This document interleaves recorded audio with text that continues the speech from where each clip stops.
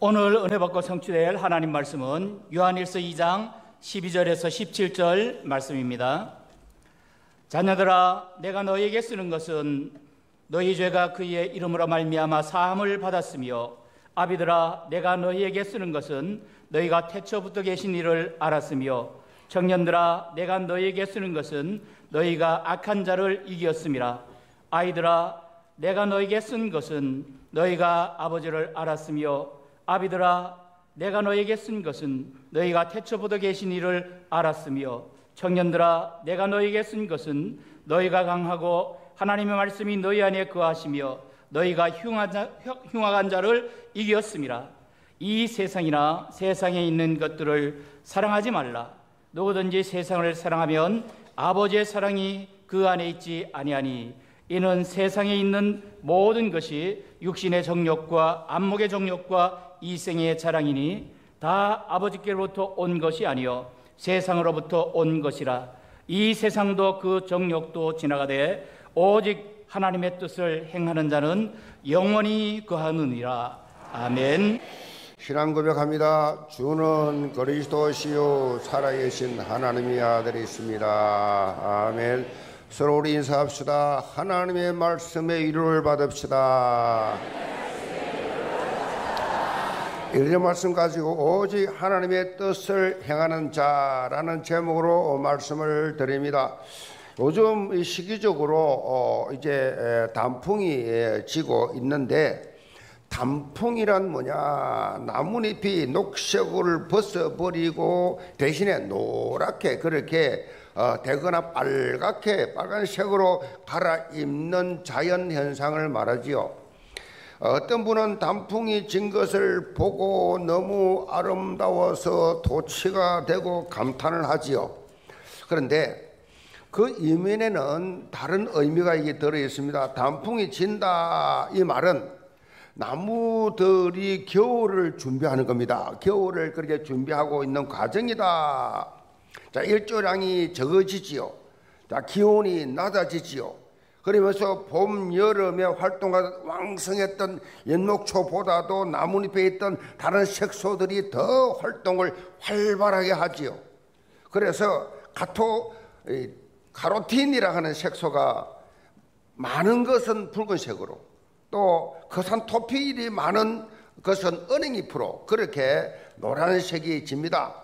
자, 그리고 나뭇잎의 이 꼭지 앞부분에 분리층이 생기면서 양분이 지나가는 길을 막아버립니다. 끊어버립니다. 이때 이 단풍의 색깔이 더막 진해지면서 그리고 나서 이제 낙엽이 되어 떨어지죠. 겨울이 나기 겨울을 나기 위해서 최소한의 것들을 남겨놓고 다 떨어뜨리죠. 추운 겨울에는 얼지 않기 위해서 물도 그렇게 땅에서 올라오는 물도 가지 끝까지 공급하지 않도록 그렇게 자연스럽게 막아주지요.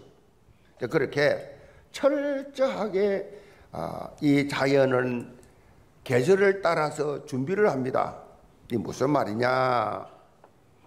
영적으로도 우리의 삶이 이래야 됩니다.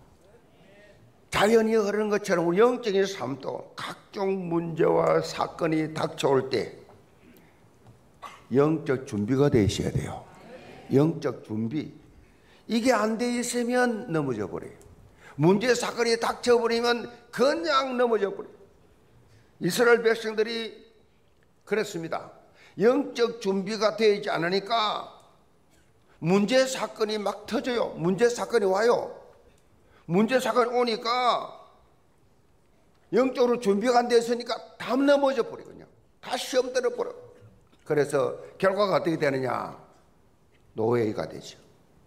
노예, 속국, 포로, 유리 방황하는 전 세계로 유리 방황하는 그런 민족이 되어버렸어요.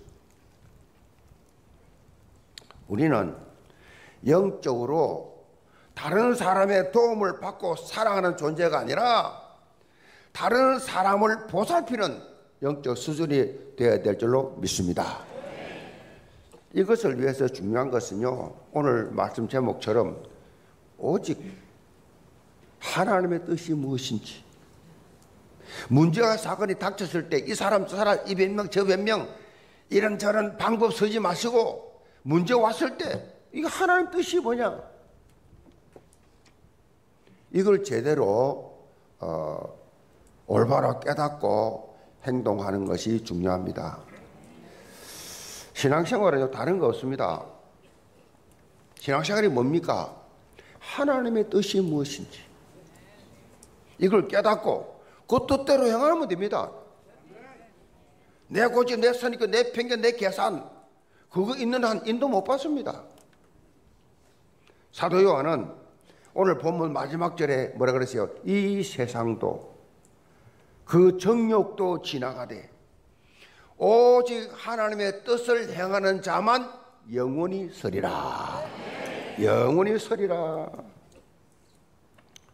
분명히 말씀하고 있잖아요. 사실 하나님의 뜻은 다양하지요. 하나님 뜻이 다양하지요. 근데 우리가 가장 익숙하게 알고 있는 게 뭐요? 대사일과 전서 5장 16절에서 18절 말씀입니다. 항상 기뻐하라. 참 어려운 말이지요. 항상 기뻐하라. 쉬지 말고 기도하라. 범사에 감사하라. 이것이 그리스도 예수 안에서 너를 향하신 하나님의 뜻이니라. 하나님 뜻이 그렇대요. 항상 기뻐해. 아니, 기쁜 것보다 슬픈 게 더 많은데요. 그렇습니다. 그래도 말씀이니까 항상 기뻐해라. 저보고도 그래요. 목사님, 너무 무서워요. 내 마음은 안 그러는데 표정이 그런가 봐. 그이 꼬리 좀 올려보세요. 이렇게 표정이 훨씬 낫죠? 여러분도 사실 그래요, 여러분도. 근데 항상 기뻐, 아, 표정 좋게 해라. 항상 기뻐. 기도하기 싫지요? 거의 기도 안 해요. 쉬지 말고 기도해. 그리고 모든 일에 다 문제 오거든 불평, 원망, 상처, 아픔 이거를 감사해라. 이게 하나님 뜻이라는 겁니다.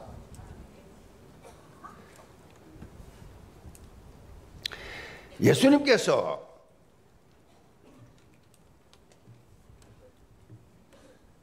우리에게 오신 방법. 예수님이 왜 땅에 오셨냐? 하나님 뜻이었어요. 요한복음 6장 38절에 보면 예수님이 이렇게 말씀합니다. 내가 하늘에서 내려온 것은 내 뜻을 향하려 함이 아니요 나를 보내신 이의 뜻을 향하려 함이라. 예수님도 육신 옷을 입고 이 땅에 오신 것이 육신 옷을 입었다 이 말은 엄청 고생이지요. 육신 옷을 입었다 이 자체가 뭐 보통 힘든 일이 아니죠. 이 오신 것이 십자가 지는 것이 너무 힘든 겁니다. 이 십자가 지는 것이 하나님의 뜻이라고 하는 것입니다. 하나님의 뜻. 때로는 십자가도 져야 돼. 아픔도 당해야 돼. 하나님 뜻이라는 것입니다. 예수님을 통해서 나타난 하나님의 뜻은 그게 뭐예요? 십자가 대속과 부활입니다. 하나님의 뜻이에요. 하나님의 스케줄이에요. 하나님의 예언 성취예요. 그래서 하나님이란 존재가 있는 거예요. 예언된 게 그대로 성취가 돼. 어느 신이 예언을 합니까? 또 예언해 본들 됩니까? 안 되잖아요. 예언이란 것이요. 예언이란 것이 그것이 딱 맞아 떨어야 되는데 몇 년 후에 몇십 년, 몇 백 년, 몇 천 년 후에 그것이 딱 맞아 되어야 되는데 그거 쉽습니까 그게? 그래 하나님의 말씀이 그대로 예언한 것이 구약이고 된 것이 신약이에요. 그대로 다 되었다.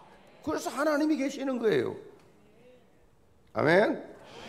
그러니까 모든 인류의 죄와 저주, 사망, 권세 해방시킬 수 있는 인간을 구원할 수 있는 여러분을 자유롭게 할 수 있는 여러분을 건져낼 수 있는 방법은 하나밖에 없어요. 예수 그리스도의 십자가의 대속과 부활. 하나님이 우리를 구원하는 방법이었어요. 우리가 아직 죄인 됐을 때 그리스도께서 십자가에 죽으심으로 하나님께서 자기를 향하신 그 우리의 사랑을 확정하셨느니라. 하나님의 사랑이 뭡니까? 십자가와 부활이에요. 어, 특별히 예수님께서는 이 땅에서 하나님의 뜻을 온전히 행하셨고 그 행하신 하, 그 우리를 향한 하나님의 뜻을 전하시고 뭐요? 전하시면서 성천하셨어요. 그것이 바로 마태복음 28장 18절, 마가복음 16장 15절 20절, 요한복음 21장 15절 17절, 사도행전 1장 8절 모든 족속으로 만민에게 후대들에게 땅끝까지 그 말씀만 딱 하고 성천하셨어요. 마지막 명령입니다. 마지막 유언입니다. 한마디로 예수 그리스도의 절대 제자가 되어서 지역 민족 세계 보고마 주역으로 너가 쓰임 받아라. 그래서 우리 교회가 지금 지역 민족 237 권력전도 4대 이 장막틀을 넓혀 나가고 있습니다. 영계 모든 성도들 오직 이것이 하나님의 뜻이기 때문에 하나님의 뜻을 행하면서 영원히 남는 작품, 하나님 앞에서 최고 가치 있는 그런 삶을 사시기를 주임으로 축복합니다.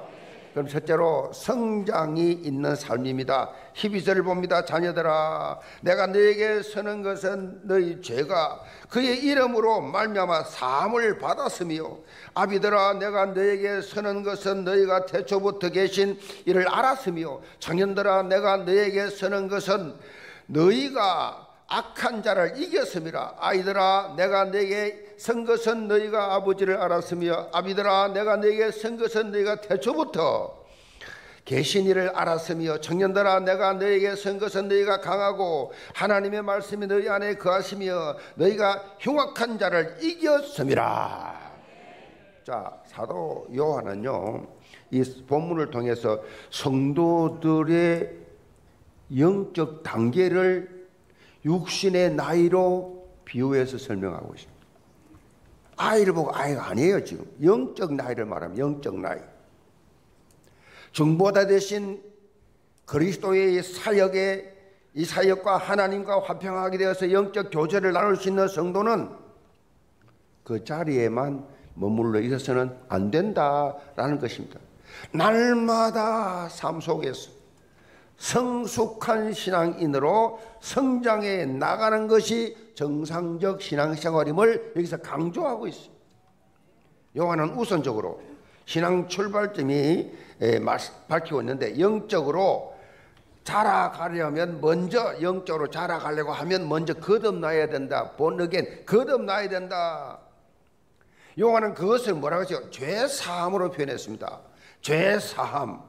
예수 그리스도를 통해서 죄 사함을 받는 순간부터 영적 성장이 시작된다. 예수 그리스도를 왜 믿습니까? 우리 죄인이기 때문에 죄 사함 받기 위해서 죄 해결 위해서 거기서부터 이제 죄싸움 받아 사자의 확신 가진 자로부터 이제 신앙생활이 시작이 된다. 그래서 영적 성장이 시작된다. 사도 요한은 영적 성숙도에 따라서 영적 성숙도에 따라서 성도들을 세 분류로 그렇게 연령층으로 나누면서 어 그렇게 이제 어떤 삶을 살아야 되느냐 이제 구원 받았으니 죄산 받았으니 어떻게 살 것인가에 대해서 권면을 하고 있습니다. 첫째는 아이들.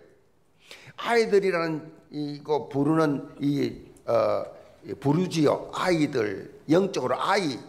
이 헬라 말로 하면 이 파이디아 이 말은 경험이 부족한 사람 그런 뜻이에요. 그러니까 영적 경험이 부족한 사람 예수 그리스도와 하나님을 알고 죄 사함을 받은 정도의 신앙적 초보 단계.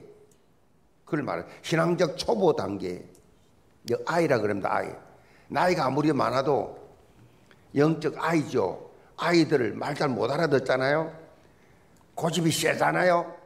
자, 자기 생각이 다잖아요. 응? 신앙적으로 초보 단계.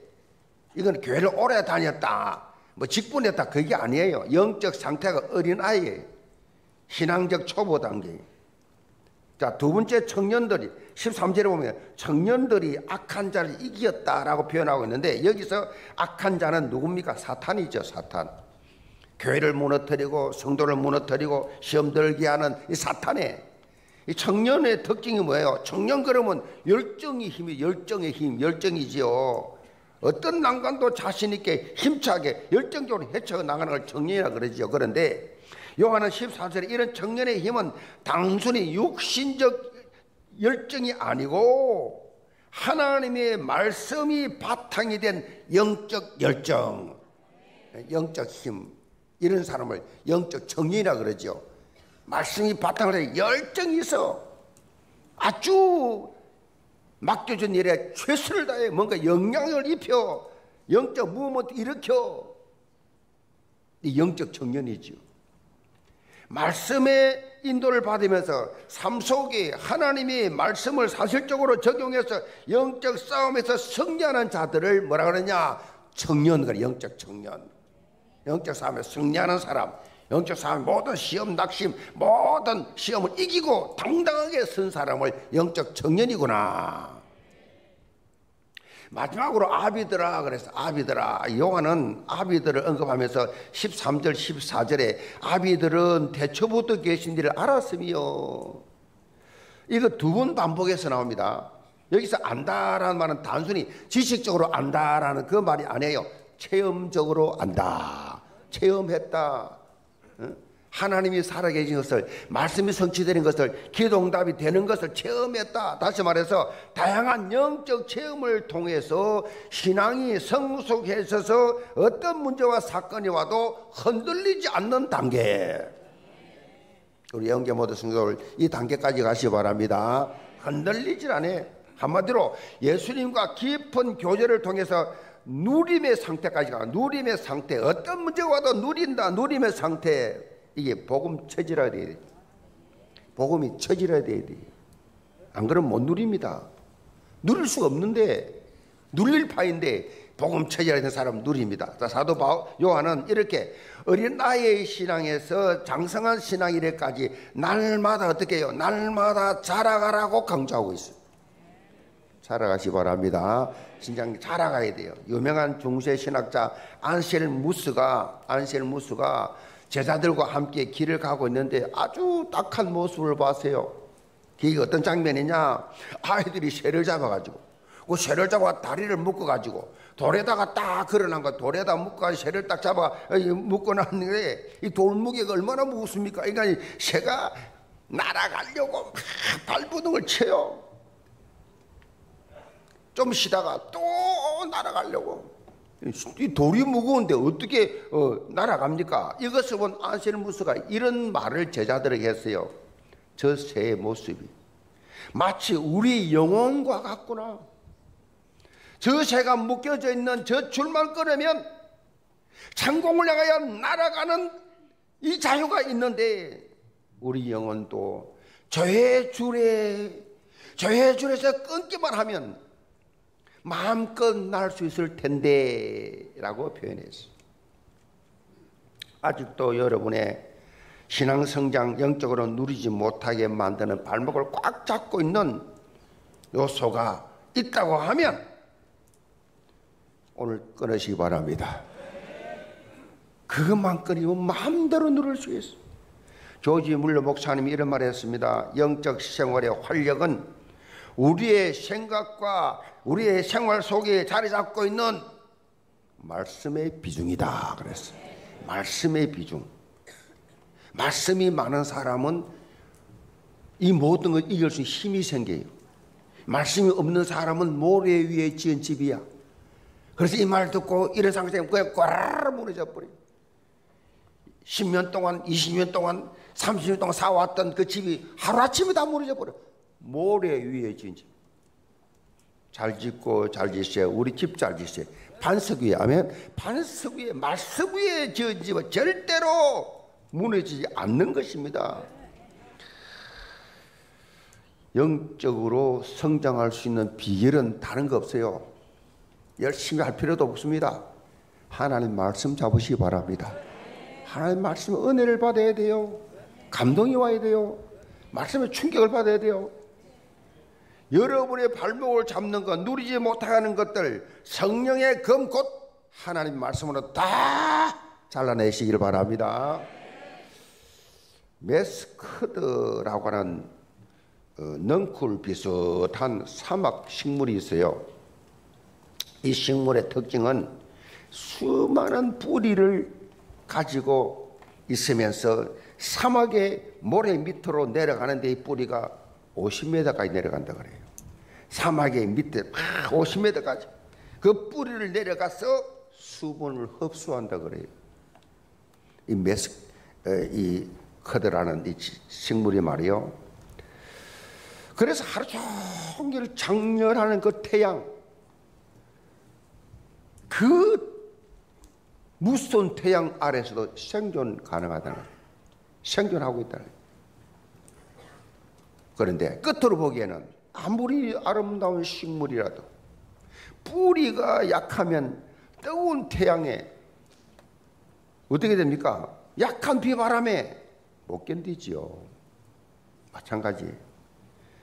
하나님의 말씀에 깊이 뿌리를 내려야 이 광야 같은 세상에서 태풍이 치고 비바람이 몰아치고 끊임없는 변화무쌍한 환경 속에서 수많은 온갖 유혹 속에서 또 불구하고 성장이 되어진다. 하나님 말씀이 여러분의 삶의 최고 비중을 차지하는 그래서 날마다 영적 성장하는 맛을 보는 여운 가족들 다 되기를 점으로 축복합니다. 두 번째로 분별력 있는 삶입니다. 15절 봅니다. 이 세상이나 세상에 있는 것들을 사랑하지 마라. 누구든지 세상을 사랑하면 아버지의 사랑이 그 안에 있지 아니하니. 사도 요한은 하나님 뜻을 향하는 자는 사랑해야 될 것과 사랑하지 말아야 될 것을 분별할 수 있는 힘, 분별력이 있어야 한다는 사실을 여기 밝히고 있어요. 그러면서 특별히 세상을 사랑하지 말아야 된다. 여기서 말하는 이 세상은 요한복음 3장 16절에 말하는 세상과는 다른 의미지요. 하나님이 세상을 이처럼 사랑하사라고 말할 때 세상 속에 있는 그 영혼들을 사랑했다는 의미고 그런데 여기서 나오는 세상은 사단의 지배를 받고 있는 악한 이 세대의 세상, 악한 체제의 세상, 그것을 말하고 있습니다.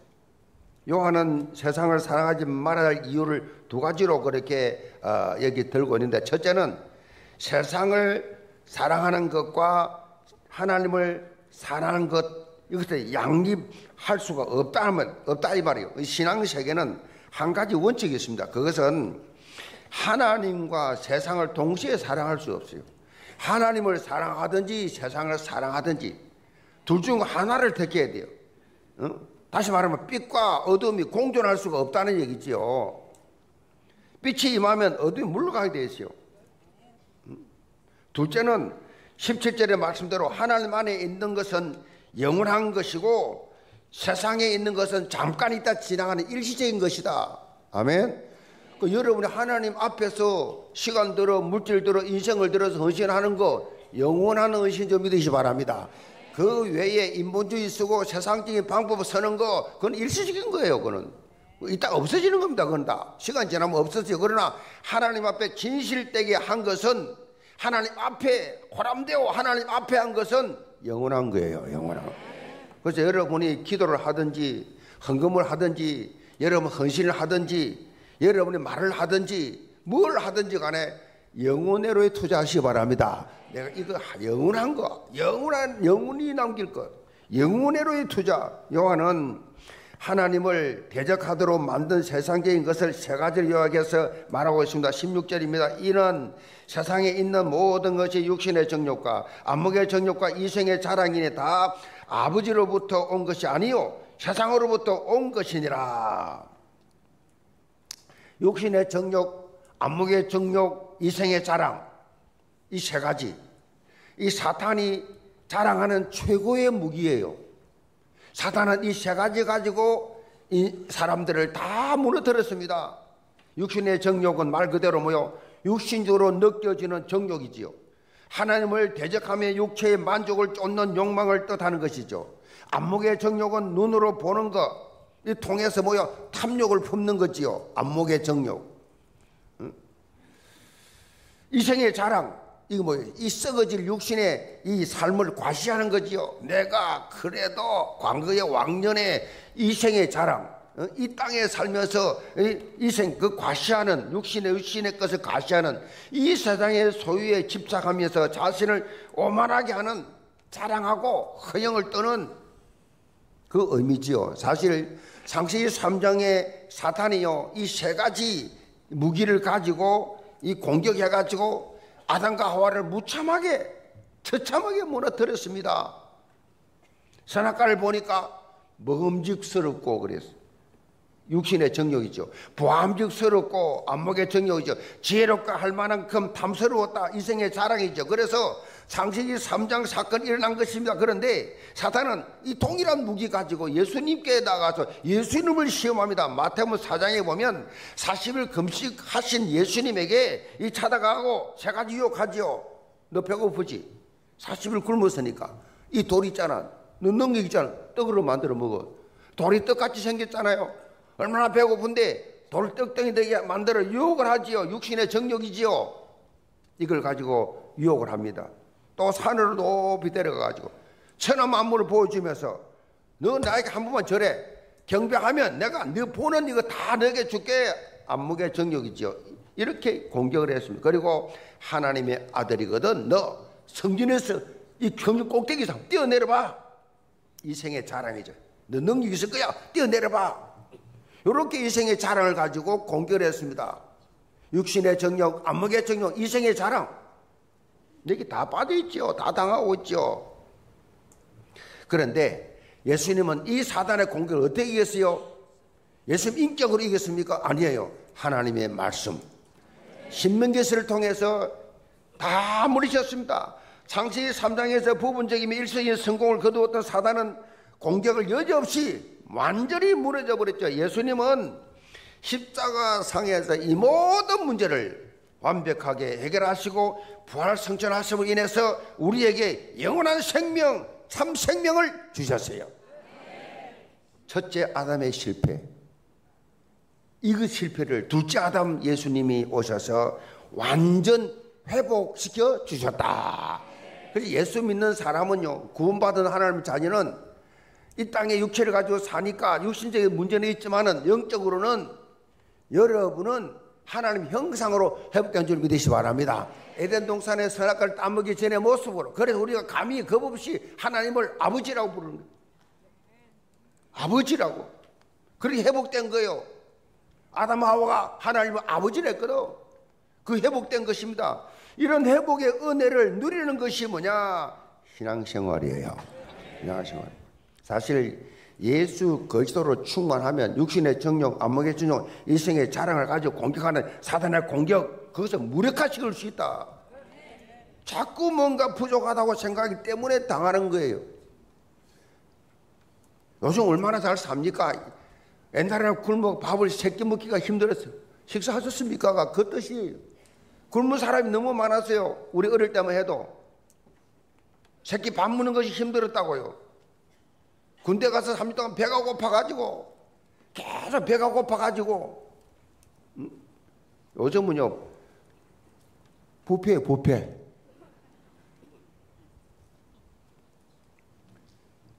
불평할 게 뭐가 있습니까?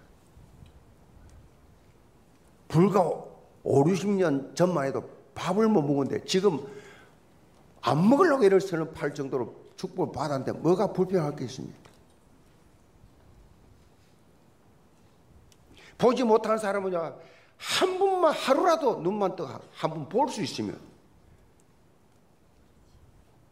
걷지 못한 사람은 내가 좀 일어 두 발로 걸을 수만 있으면 더 소원이 없겠다. 다 죽겠다, 다.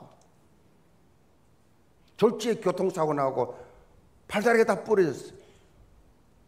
손으로 내가 세수할 수 있으면 내가 너무 행복하겠다. 내가 가지고 다 줄게.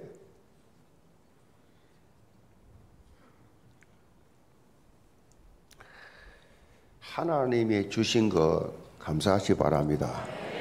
어떻게 하나님을 원망합니까? 간이 커도 보통 큰 간이 아니요. 생사를 주관하시는 그 하나님 앞에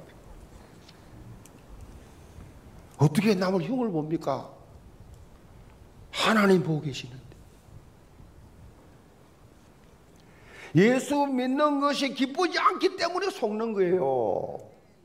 안 기뻐. 교회나 예배 드려도 안 기뻐. 그래서 그런 사람만 골라가지고 사단이 가지고 노는 거예요. 자기 도구로. 예수 한 분만으로 만족하지 못하기 때문에 실족하고 시험 드는 겁니다. 영계 모든 성도들 예수 믿는 재미, 예수 믿는 기쁨 충만하시 바랍니다. 예수 예수 믿는 게 너무 행복하고 교회 나오는 것이 너무 행복하고 예배 드리는 시간이 너무 기쁘고 말씀 듣는 것이 너무 치유가 되고 기다려지고 아멘. 우리 교회 성도들은 그렇습니다. 표정이 다르, 다르다 그러잖아요. 다른 새신자들 와서 사람들 표정이 너무 밝다. 너무 친절하다. 은혜 받았으니까. 그래서 어떤 사단의 공격에도 속지 않고 오직 하나님 뜻을 행하는 분별력 있는 그는 신앙생활하기를 점으로 축복합니다. 결론입니다. 미국의 유명한 시인 칼 샌드버거. 샌드버거가 인생을 뭐라 그랬냐? 양파 껍질을 벗기는 작업에 비유했어요. 양파 껍질을 벗기면 벗길수록 매워가지고 눈물이 나는 것처럼 인생도 살아가면 살아갈수록 고통스러울 뿐이다라고 해석했어요. 얼핏 들으면 맞는 말 같죠. 그런데 예수 그리스도의 생명 있는 자의 삶은 정반대다. 인생을 살아가면 살아갈수록 삶이 살수록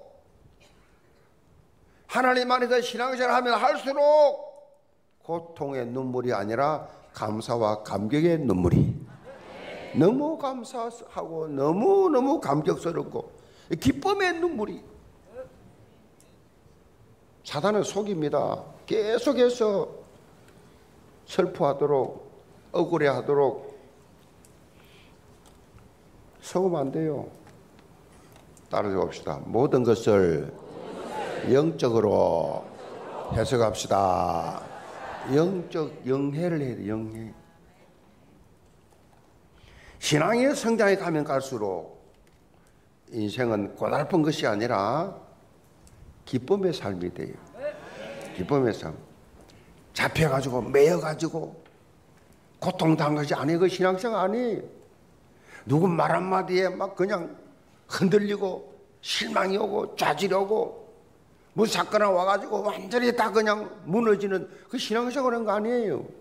말씀 못 잡았다는 겁니다. 모든 사건 문제, 환경 만남을 통해서 하나님의 뜻과 계획을 발견할 때마다 하나님이 부어주신 은혜에 감사할 수밖에 없는 삶. 이게 신앙생활, 성경적 신앙생활이. 모든 게 감사해야 돼요. 어려움이 왔습니까? 다리가 하나 부러졌습니까? 하나님이 살아계시면 왜 그렇게 했어요? 그럼 하나님 계획이 있겠지. 영적으로 해석하면서 위로받고 힘없고 돌이 하나님 감사할 때 기적이 일어난다. 하나님 응답하시 역사하시죠. 세상에 보이는 거, 듣는 거, 말하는 거 서론입니다. 서론이라고요. 본론은 하나님 말씀밖에 없습니다. 다 서론이 남편도 아내도 자식도 서론이라고요. 거기에 생명 걸 이유가 없습니다. 서론이라고. 말씀 잡고, 오직 본론 잡고. 왜? 이따 그 잠시 잠깐, 이따 사라지는 거예요, 그냥. 잠시 잠깐이에요. 제가 개척한 지 37년인데 의지하래가 또 의지하래. 뭐 얼마 안 된 것 같은데 37년이요.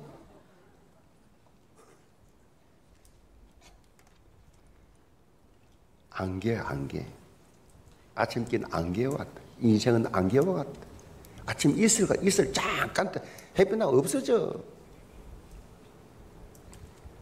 영계 모든 성도들 영의 눈을 열고 오직 하나님의 뜻을 향하는 삶, 생명 살리는 절대 가치를 실현하는 하나님 오늘부터 속지 않고 본론 인생 살게 하여 주옵소서. 여러분의 슬픔이 기쁨으로 정말 아픔이 찬양으로 회복되는 그런 주일 되기를 주님으로 축복합니다. 기도합시다. 아버지 하나님 영계 모든 성도는 오늘부터 어린아이가 청년으로 청년이 어른으로 영적으로 성장하는 시간표가 되게 하여 주옵소서. 사람 통해 위로받아 하지 말고 하나님 말씀을 통해서 하나님의 뜻이 무엇인지 오직 하나님의 뜻을 따라 살아가는 하나님의 뜻을 향하는 하나님의 사람 말씀의 사람들이 되게 하여 주옵소서. 예수 그리스도 받들어 기도합나이다. 아멘.